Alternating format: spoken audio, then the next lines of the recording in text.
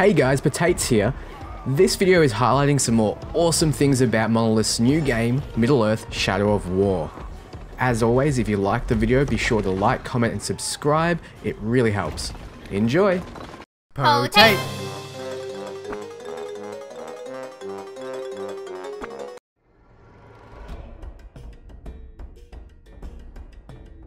In the open world, you will come across orc prisoners and slaves tied up or subjugated like this poor little Olog here. If you free them though, they will gladly turn against their captors.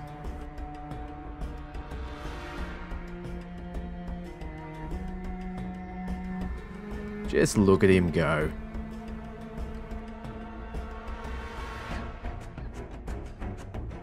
That is the smile of freedom.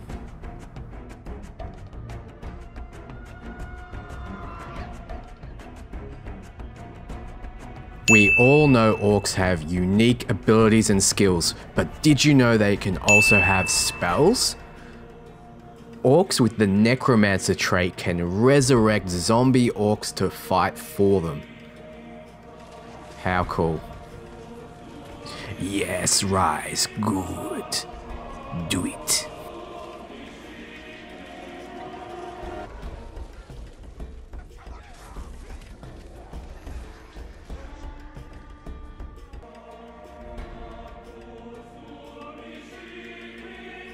Fancy a new way of killing? Jump on the back of an Olog.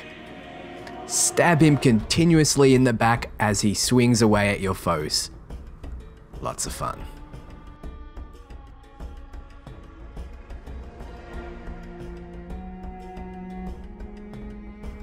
We know poison was changed in Shadow of War, but this is an extreme case of being poisoned.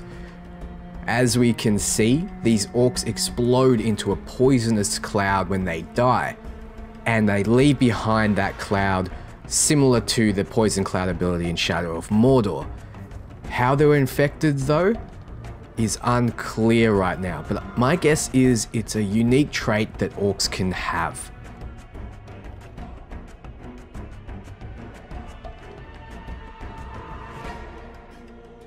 Yeah, walking through this minefield seems smart.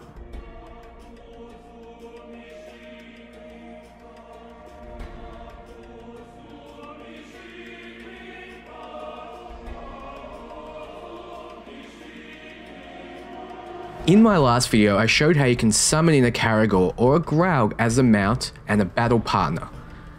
We now see that the particular talent you need to skill into has three paths, one for a Dire Caragor, two for a Graug, and three for a Drake. Yes, once you meet certain requirements, you can summon yourself your very own Drake. Why would you go with a Dire Caragor then? Well, because it's stronger than a regular Caragor, it's fire resistant, and it can summon back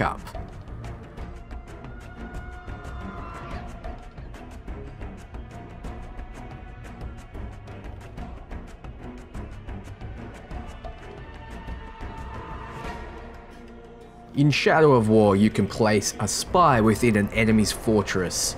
However, the Overlord can detect that spy and kill them. I call myself a sneaky spy! I was going to cut him slowly, but I don't have the patience!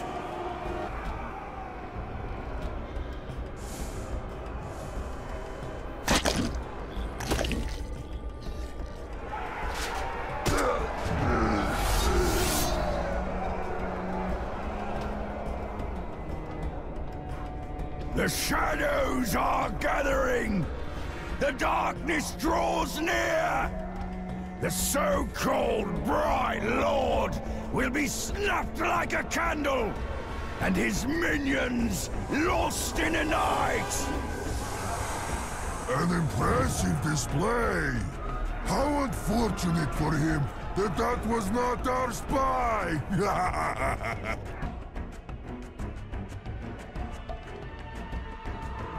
Orcs have a wide range of abilities that make killing them a nightmare. Before assaulting a keep, be sure to check out the Overlord's abilities. If he has poison weapons for example, his fortress will be poison themed. Same thing applies to placing your own overlord in a fortress. Make sure you pick an orc with the abilities you want your fortress to have.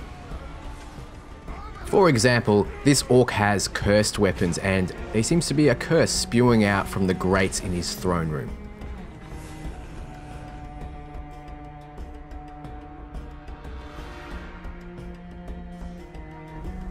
Keep an eye out for this psychopath right here.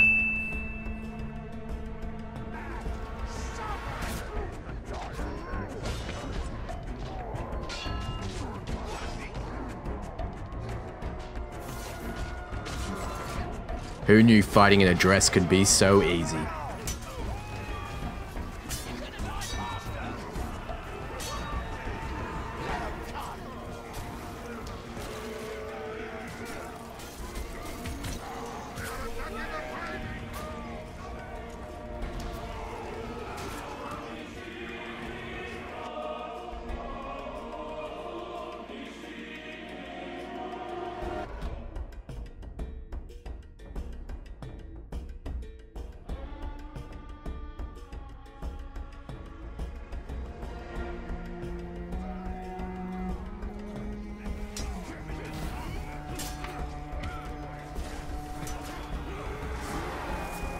Not every skill has to be about killing, it can be indirectly about it. War Banners is an ability that the Orc Commander class can get. It will spawn and command a banner carrying Orc to plant it, which inspires their troops into a frenzy. Destroy it to remove the effect. But there's one they fear. In their tongue, he's Dovahkiin, Dragonborn.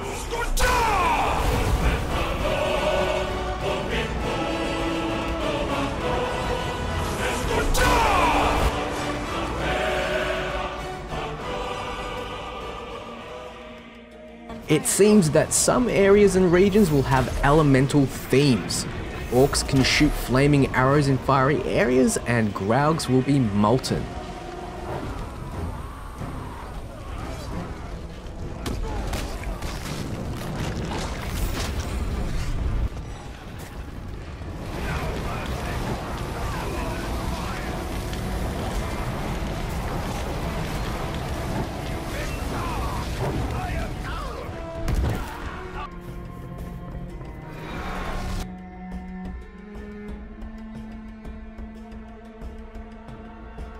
You wouldn't think so, but there is animation for Graug versus Graug combat.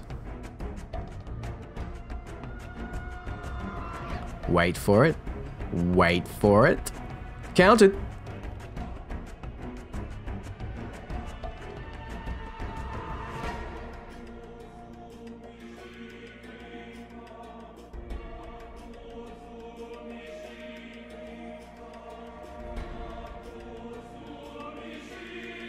In my last video, I showed that you can summon a bodyguard to your side and command them.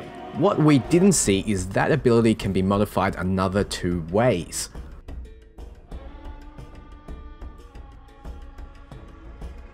One is to summon in a cluster of spiders which attack and poison enemies in your area. And the final one calls in three Gondorian human soldiers to attack your enemies for you. I don't know about you guys, but why would I call in Tarks when I can call in an Olog or some spiders?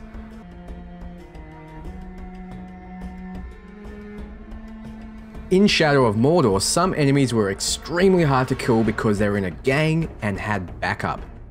Now, with the Shadow Strike pull ability, you can isolate the orc you want to kill or brand without his friends getting in your way.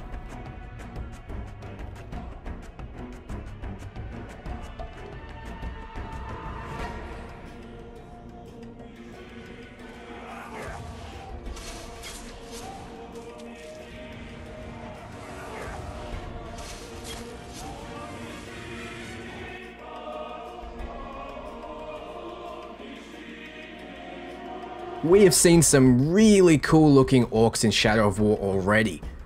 But come on, this orc. He beats things to death with a lute axe. It doesn't get much cooler than that.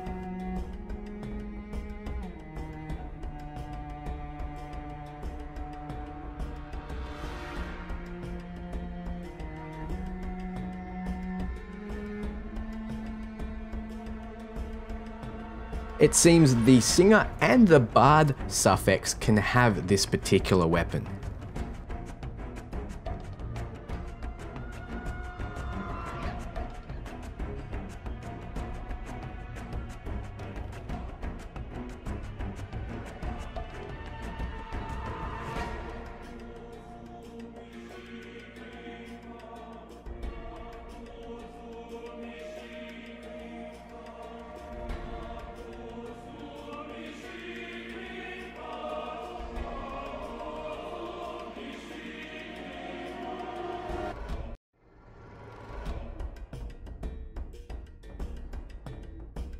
Look at those abilities. He really is a bard.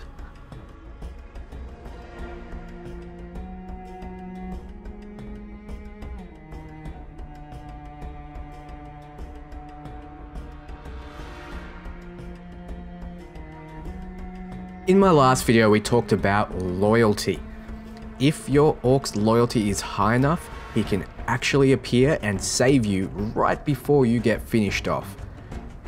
To raise an orc's loyalty, you have to have them participate in missions, make sure you don't let them bleed out and die, and generally be a nice guy.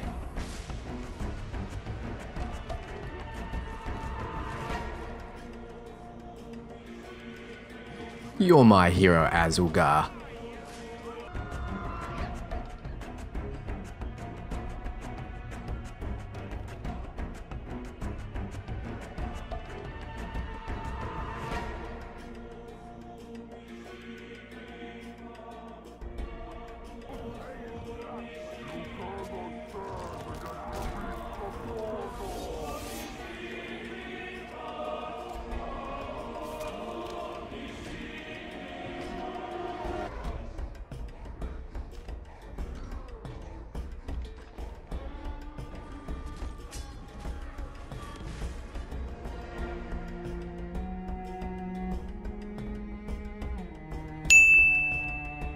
Can we just stop and talk about the fact that orcs can throw bombs now?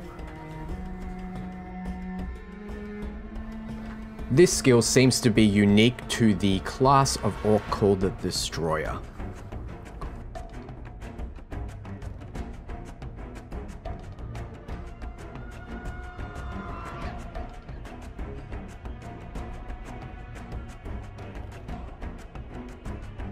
In Shadow of Mordor, we've all had the situation where an orc we just killed came back from the dead and ambushed us. Now, in Shadow of War, it seems like our allies can also come back from the dead. Thank God. Welcome back, Headless Painseeker.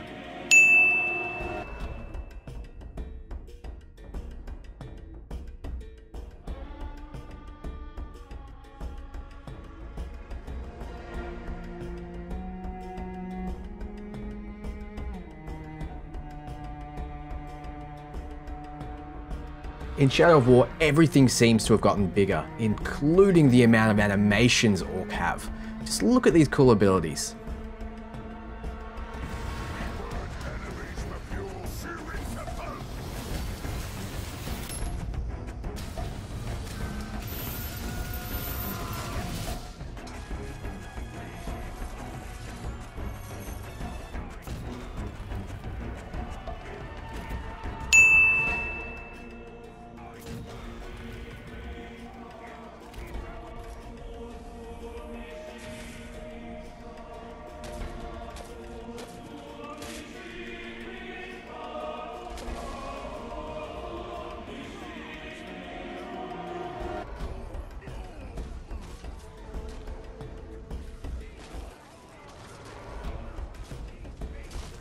Savage.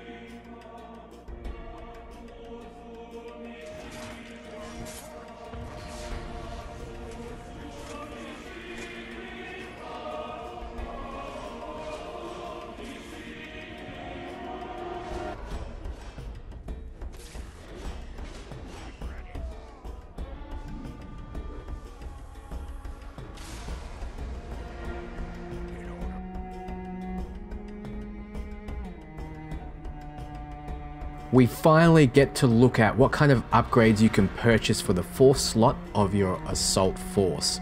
It seems like you can choose between longer range archers, flaming archers, or archers that ride caragors for more distance covered.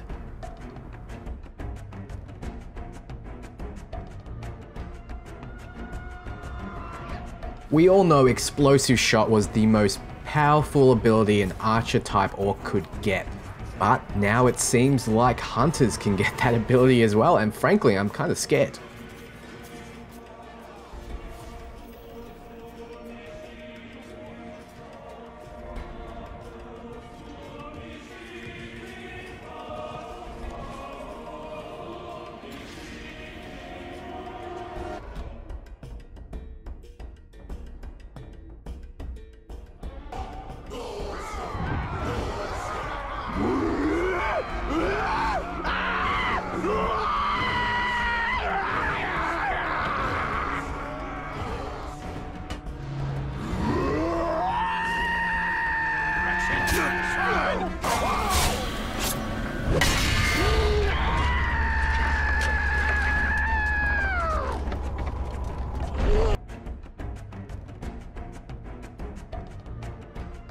Depending on how they die, orcs can come back from the dead. In this case, if they die via flies, they can become the maggot nest, which just looks disgusting.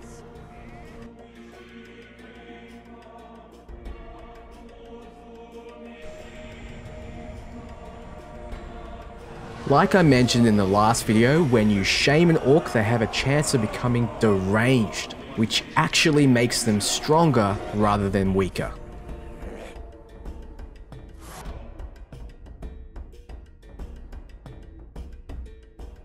Yeah, just look at him go.